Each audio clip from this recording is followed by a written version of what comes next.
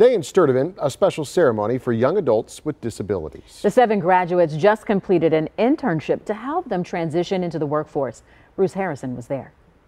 For these graduates, today's ceremony is about embracing who you are and looking to the future.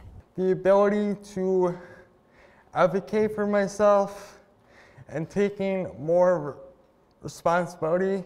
Spencer Lake just completed an internship at Andis Company. How's it feel, man? It feels pretty good.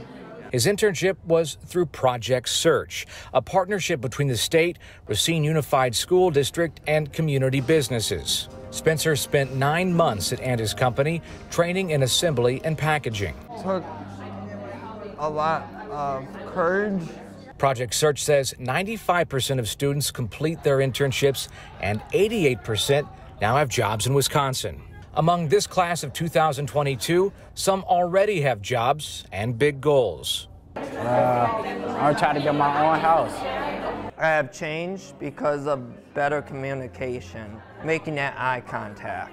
A group of proud graduates and proud parents.